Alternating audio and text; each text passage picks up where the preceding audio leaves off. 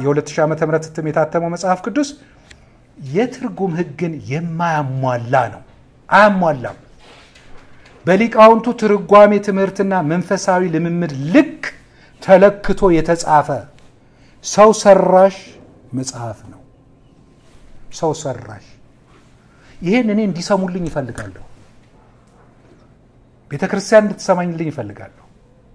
እኔ ህዝብ እንዲሰማ አልፈልግም። ይህንን ይህን እንዲሰማ የምፈልገው ይህንን የሰሩ ምስኪኑን ህዝብ እረኛ እንደሌለው በማይረባ ሰው ሰራሽ በሆነ መንገድ የሚመሩትን አባቶች እንዲሰሙ እፈልጋለሁ።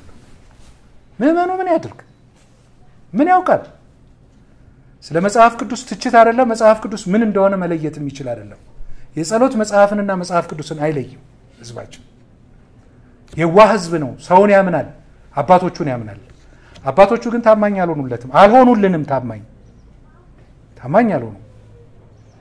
ለእግዚአብሔር ቃል ያልታመኑ አባቶችና ለእግዚአብሔር ቃል ያልታመነች ቤተ ክርስቲያን ለአገርና ለህዝብ ልትታመን አትችልም፣ አይቻልም። ለእግዚአብሔር የታመነ ሰው ነው ለሰው የሚታመነው። ለእግዚአብሔር የታመነ ሰው ነው ለእግዚአብሔር ቃል የሚታመነው።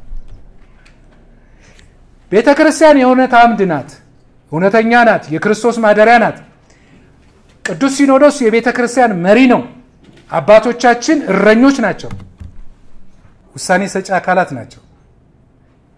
ቅዱስ ሲኖዶስ ከዋሸ፣ አባቶቻችን ከዋሹ በምድር ላይ ማን ነው የሚታመነው? ነገስታት፣ ፓርቲ፣ ፖለቲከኞች፣ ነጋዴ ማን ይታመናል? ታማኝ እኮ የሆነች እኮ ቤተ ክርስቲያን ናት። ስለዚህ ይሄ ታላቅ ችግር ነው ችግር ነው። አራቱ እነዚህ የነገርኳቸው ምክንያቶች ሳይሆኑ ምንድን ናቸው? ሰበብ ናቸው። ሰበብ ማለት ተአማኒነት የሌለውን ተልካሻ ምክንያት እውነተኛ ለማስመሰል የሚደረግ አመክንዮ ነው። ሰበቦች ሐሰተኛ ማስረጃዎች እንጂ ምክንያቶች አይደሉም።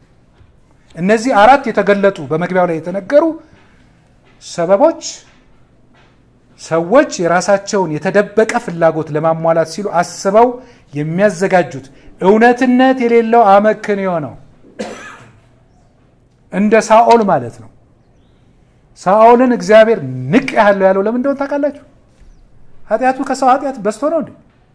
አይደለም እኮ አይደለም። አጥፋለው እንስሳውንም ሰውንም አጥፋ ብሎ ላከው። ሄዶ ግን አላጠፋም።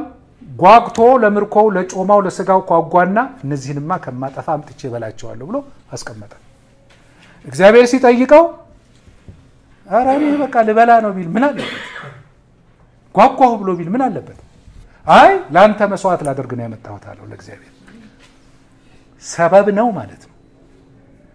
ስለዚህ ሟርተኝነት እያለ የእግዚአብሔርን ቃል ንቀሃል አለው። ስለዚህ እኔ ምን አላልኩህ?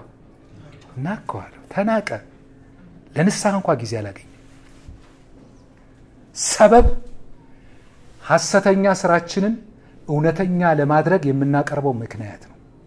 ይሄ መጽሐፍ በሰበብ የተሞላ ነው። በእግዚአብሔር ዘንድ ልናጠፋ እንችላለን። አውቀን ግን ካጠፋን በኋላ ስህተታችንን የማናምን ከሆነ ለዘላለም ከእግዚአብሔር ጋር ተጣልተን በቁጣ ውስጥ ነው የምንሆነው። ለዛውም የእግዚአብሔርን ቃል እና ሰበበኞች በፈጸሙት ከእውነታው ተቃራኒ በሆነ ድርጊታቸው እንዳይጠየቁ ራሳቸውን ሕጋዊና እውነተኛ ለማስመሰል ጥፋታቸው በሌሎች ዘንድ ተቀባይነት እንዲያገኝና በጥፋታቸው በአመፃቸው ለመቀጠል ሲሉ የሚያቀርቡት የሐሰት ማስረጃ ነው። ስለዚህ ይሄ መጽሐፍ በምክንያት በእውነት ላይ ተመስርቶ የተጻፈ ሳይሆን በሰበብ ነው። ስለዚህ እግዚአብሔር አምላክ አባቶቻችንን ይርዳ። እነዚህ ሰበቦች አራቱ ሰበቦች የሁለት ሺህ እትም እንዲታተም ያስፈለገበት እውነተኛ ምክንያት ሳይሆኑ ሰበቦች ናቸው። እውነተኛው ምክንያት ምንድን ነው? ግልጽ ነው አይደለ? አሁን እዚህ ጋር ትረዱታላችሁ። ግልጽ ነው እውነተኛው ምክንያት የሁለት ሺህ ዓመተ ምህረት እትም እውነተኛው አመክንዮ እውነተኛው ሪዝን ምንድን ነው ይሄ? የዚህ ፕሬዘንቴሽኔ ኮር ነው፣ ነጥቤ ይሄ ነው። ይሄ ነው። ይሄን እንድትይዙልኝ ይፈልጋለሁ። ምንድን ነው ሀሳቡ?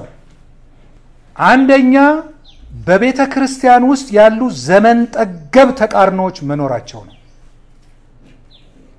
ሊነገር የማይገባ አንድ ቃል ልናገር። hermaphrodite የሚባል ታውቃላችሁ?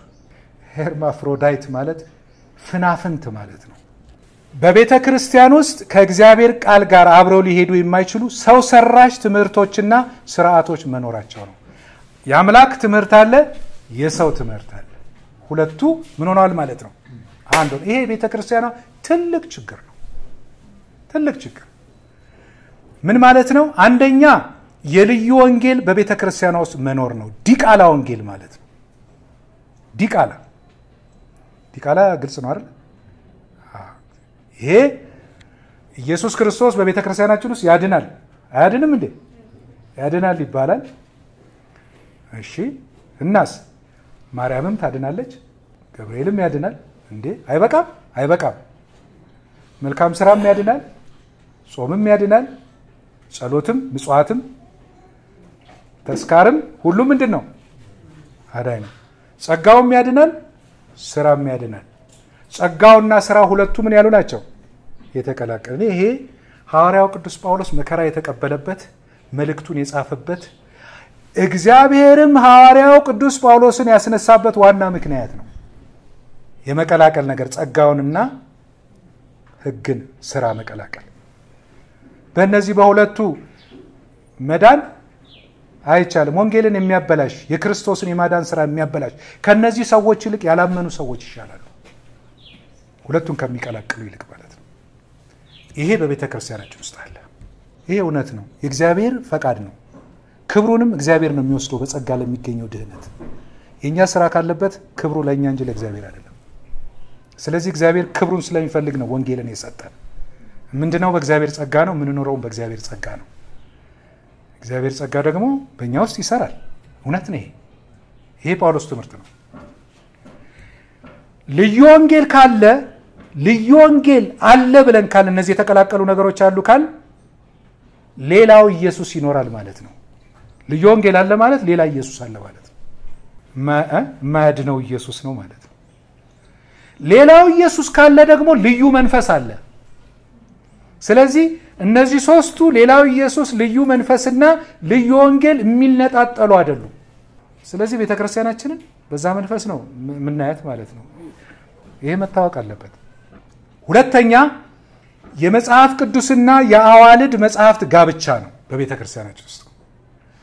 መጽሐፍ ቅዱስም የእግዚአብሔር ቃል ነው። አዋልድ ቁጥር የለውም። አሁን ሰሞኑን በዚህ በፌስቡክ እና በቲክቶክ በምናምን እየተናገሩ ነው ያሉት። እግዚአብሔር ይባርካቸው እና ድሮ ሲያሳድዱ የነበሩ ሰዎች አዎ መዳን በጸጋው ነው፣ አዎ እነዚህ ወፍ ዘራሽ ትምህርቶች ናቸው አንዳንድ ሰዎች ያለ ቤተ ክርስቲያኗ ፈቃድ አሳትመው ያሰራጩት ነው እስከ ማለት ደርሰዋል። እግዚአብሔር ይመስገን ጥሩ ነው፣ ግን በእውነት መመለስ መቻል አለባቸው። በአንዱ ወንጌል በኢየሱስ ክርስቶስ ማመን አለባቸው። በአንዱ በመጽሐፍ ቅዱስ የበላይነት ማመን አለባቸው እና እነዚያ አዋልድ መጽሐፍት የሚባሉት ገድላት፣ ድርሳናት አሉ። እነዚህ በሽታዎች ናቸው። ለዚህ መጽሐፍ መጽሐፍ ምክንያት እነዚህ ናቸው። ሶስተኛ በሚስጥረ ስጋዌ ላይ ያለ በቤተ ክርስቲያኗ ውስጥ ያለ የአስተምህሮ ልዩነት ነው። ቅድም እንዳልኳችሁ ማለት ነው። በቤተ ክርስቲያናችን ውስጥ የቅባት እምነት አለ፣ የጸጋ ትምህርት፣ የካራ ትምህርት፣ የተዋህዶ ትምህርት፣ የአውጣኬ ትምህርትም እነዚህ አምስቱም በቤተ ክርስቲያናችን ውስጥ አሉ። እንግዲህ ስንቶቻችሁ ይህን ነገር በደንብ እንደምታውቁ አላውቅም።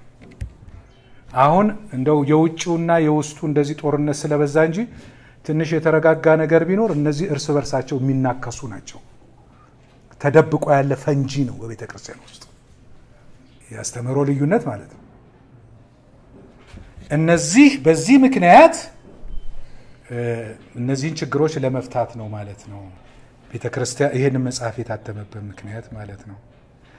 ክፍል ሶስቱ ላይ ይሄዳለሁ። አሁን የእግዚአብሔር ጉብኝትና የሰዎች ምላሽ። እግዚአብሔር ሰዎችን ይጎበኛል። እግዚአብሔር የምህረት አምላክ ነው።